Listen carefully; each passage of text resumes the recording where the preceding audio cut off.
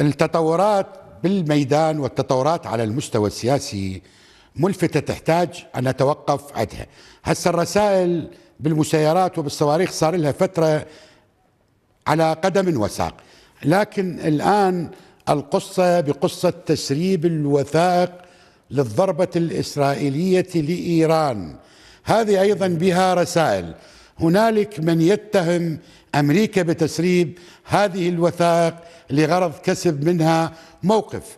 هنالك من يقول أن أمريكا تريد أن تضغط على إسرائيل حتى تؤجل الضربة لما بعد الانتخابات الأمريكية. بالإضافة إلى الميدان هنالك رسائل مربكة بالمشهد السياسي. من نحتاج تفسيرها؟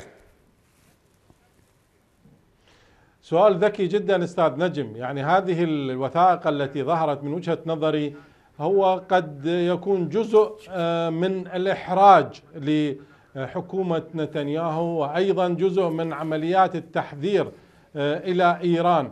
على اعتبار يعني إن إسرائيل تمردت بكثير من المواقف بكثير من الردود الهجمات حتى على الرأي والنصح الأمريكي ومن ثم تسريب مثل هكذا وثائق أنا أعتقد ستكون ضاغطة على حكومة نتنياهو. اولا فيما يرتبط بإعادة الأولويات خصوصا وأن هذه الوثائق حددت بعض الأهداف وبالتالي آه هذا سيدفع آه الجيش الإسرائيلي إلى إعادة آه التقييم آه، إعادة اختيار أهداف جديدة. ومن ثم آه، أتفق مع ما طرحته آه، حضرتك أستاذ نجم من أن قد تكون أو يكون الهدف هو تأخير الضربة الإسرائيلية لما بعد الانتخابات الأمريكية لأن ضربة إسرائيلية بهذا المستوى يعني سواء على مستوى الوثائق أو حتى على